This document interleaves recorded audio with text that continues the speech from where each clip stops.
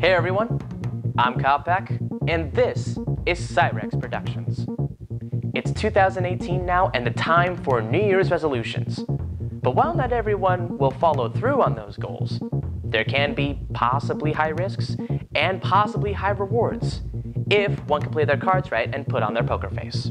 This is my review of the high stakes gambling film, Molly's Game.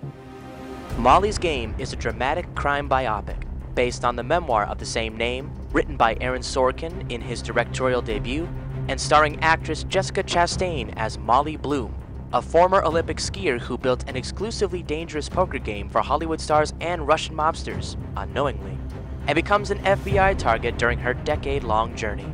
Sorkin, who created the TV series The West Wing and wrote the films A Few Good Men and The Social Network, plays at his strengths for directing plots with smart and quick-witted minds that note the tiniest details in mid-conversation that are eventually key in the end, and picks up those pieces regardless of whether one catches it or not.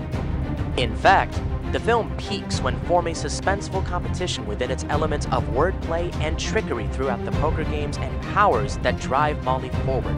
But there are fragmented segments outside of that that are good in some areas and forgettable in others.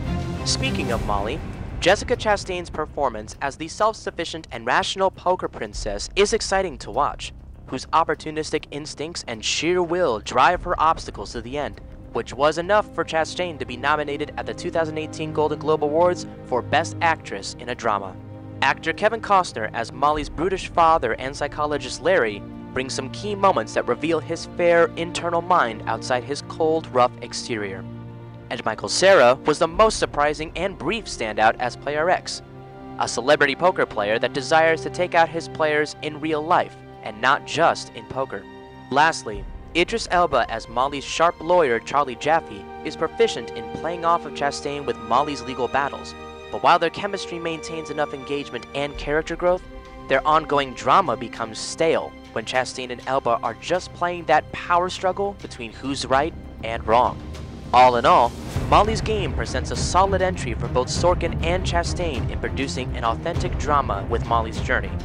But there are missing cards in its deck between the faults of its short script and rusty screenplay. I give Molly's Game 8 out of 10 stars. If you like my videos or reviews, please subscribe to my YouTube channel at Psyrex Productions. Or you can find me at my Facebook page called facebook.com slash KylePeck fanpage. I'm Kyle Peck, and see you next time.